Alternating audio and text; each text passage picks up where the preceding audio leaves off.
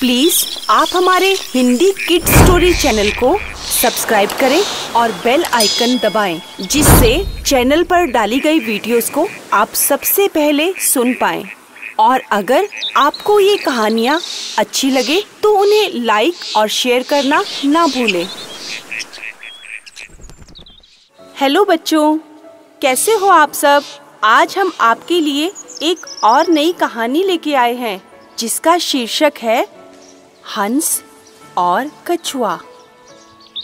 एक गाँव के पास, घने जंगल के आसपास एक बहुत बड़ा तालाब था। वैसे तो उस तालाब में बहुत सारे जीव जंतु पक्षी इत्यादि रहा करते थे। लेकिन उन्हीं में से दो हंसों और एक कछुए की दोस्ती बहुत दूर दूर तक मशहूर थी। सभी कहते थे, अरे यह दो हंस और कछुए तो बहुत मस्ती में खिरा करते हैं। बहुत पुरानी सालों की दोस्ती है इनकी। और सभी उनकी दोस्ती को बहुत अच्छे से जाना करते थे। अब एक समय ऐसा आया जब ग्रीष्म ऋतु पड़ी। बहुत अधिक गर्मी हो गई और गर्मी पड़ने के कारण वहाँ का तालाब सूखने लगा। उसमें पानी धीरे धीरे कम होने लगा। अब उन हंसों को तो मालूम था कि यहाँ बहुत अधिक समय नहीं रहा जा सकता। हमें कहीं और चलना चाहिए, कहीं और रैन बसेरा बनाना चाहिए, नहीं तो हम ज़्यादा दिन तक नहीं टिक पाएँगे और हमारी मृत्यु निश्चित है। अब उन्होंने अपने दोस्त कछुए को कहा, देखो कछुए भाई हम लोग यहाँ ज़्यादा दिन तक नहीं टिक पाएँगे। इसीलिए हमें कहीं और सराय बनानी चाहिए। अब कछुए ने कहा, देखो मित्रों, तुम लोग तो आकाश में दूर दूर तक उड़ सकते हो, लेकिन मुझ जैसा धीमी चाल चलने वाला प्राणी कैसे इतनी दूर का सफ़र तय करेगा? और मैं कैसे वहाँ पहुँच पाऊँगा? और यहाँ तो मैं भूख प्यास से अकेला ही मर जाऊँगा। अब हंसों ने कहा, देखो मित्र, हम तुम्हें यहाँ अकेला छोड़कर तो जाने वाले हैं नहीं। किसी ना किसी तरह हम तुम्हें अपने साथ ही लेकर जाएँगे। बच्चों, तुम्हें यह मालूम होगा कि वह कछुआ बहुत ही चपड़ चपड़ करता था। बहुत अधिक बातूनी था वह कछुआ। हर समय बातें करता रहता था और वह दोनों हंस बहुत ही सीधे साधे थे। और चुप रहा करते थे। अब उन हंसों ने उस कछुए को कहा कि हम तुम्हें अपने साथ तो ले चलेंगे, लेकिन तुम्हें हम दोनों की एक बात माननी पड़ेगी। कछुए ने कहा हाँ मित्रों, मैं तुम्हारी बात ज़रूर मानूँगा।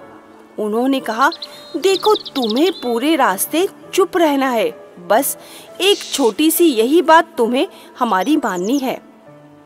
कछुए को यह बात समझ में नहीं आ रही थी कि तुम मुझे अपने साथ भी ले चलोगे और मुझे चुप भी रहना है।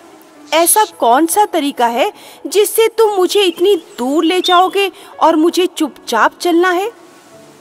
अब हंसों ने कछुए को समझाया और कहा, देखो मित्र, हम तुम्हारे लिए ये पेड़ की टहनी तोड़कर लाए हैं और यह बहुत ही मज़बूत है। हम दोनों सिरों से यह टहनी पकड़ लेंगे और तुम इसे बीच में से मुँह से पकड़ लेना। लेकिन तुम्हें बस अपना मुँह बंद रखना है, जिसके कारण तुम्हें इसे पकड़कर रहने में सुविधा रहेगी। अब कछुआ तो शुरू से ही था बातूनी। चुप रहना तो उसने सीखा ही नहीं था। बोला, ठीक है, मैं तुम्हारी बात अवश्य मानूँगा और मैं चुपचाप ही रहूँगा। अब वह दिन भी नज़दीक आ गया जब हंसों ने दूसरी ओर उड़कर जाना था।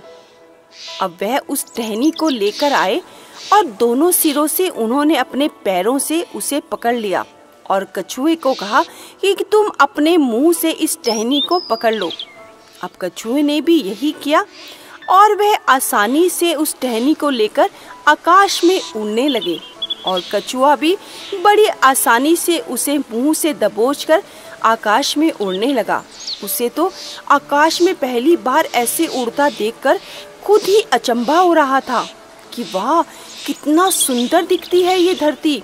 ऊपर से तो आकाश और धरती बहुत अजीब लगती है, कितनी बड़ी धरती है हमारी। अब यह क्या?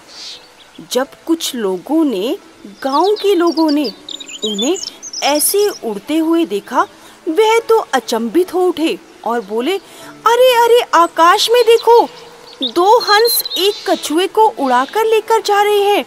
बड़ा अचंभित दृश्य है यह तो। अब सभी देखने लगे और हंसने लगे। अब यह सब कुछ जब कछुए ने देखा तो उसने नीचे मुँह करके हंसों को बोलना चाहा, देखो हंसों यह लोग मुझ पर हंस रहे हैं। अब यह क्या? जैसे ही कछुए ने कुछ बोलने के लिए मुँह खोला, कछुआ तो धीरे धीरे धरती पर आ गया और नीचे गिरते ही उस कछुए की मृत्यु हो गई। और वह उसके मित्र दो हंस उसे बचा भी नहीं पाए और बस वह तो अफसोस करके ही रह गए। देखा बच्चों वह कछुआ उन हंसों से अपने आप को ज़्यादा समझदार और चतुर समझता था। उसे लगता था, वह तो आसानी से इतना लंबा सफ़र तय कर पाएगा। लेकिन उस कछुए को अपनी ज़ुबान पर कंट्रोल नहीं था और वह चुप तो रह ही नहीं पाया। और बेचारा वह सफ़र ना तय करके उसकी मृत्यु हो गई।